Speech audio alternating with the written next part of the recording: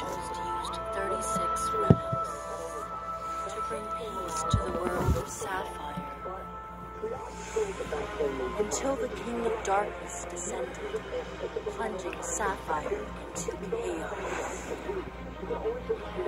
Rallying together, the angels attempted to thwart his reign, but they were no match for his might. In the end, Fortuna gave up her life to bring the relics together and summon the ultimate weapon, the Divine Edge.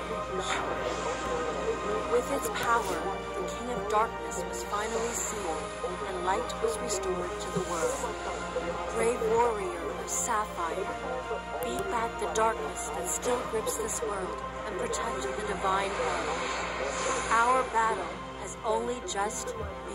because you will gain pips on your opponent, nullify their damage, and also make sure they waste a lot of pips. So you get more pips, they get fewer pips, and you save yourself a ton of health.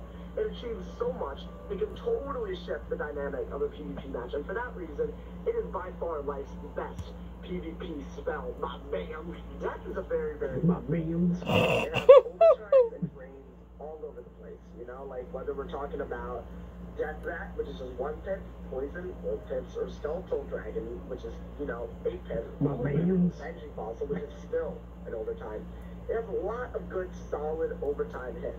But one thing that makes make, that's painfully obvious, when you discount the Shadow Pips, most of Death's direct hits are drained. And the problem with drains is that when you enchant a drain, half of it goes to the health that you get out of it, and half of it goes to the damage that you do out of it. I'm not sure a lot of people realize this because an enchanted Clue does